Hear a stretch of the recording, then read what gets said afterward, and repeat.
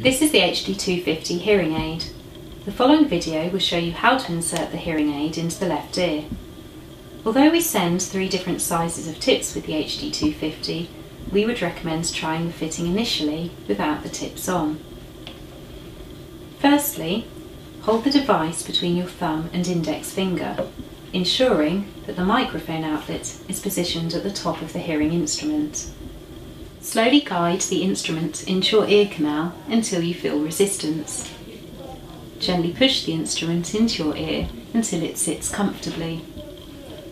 You may find it helpful to move your jaw slightly to ease insertion, and you may wish to pull up slightly on the top of your ear with your other hand as you push the hearing instrument into the ear.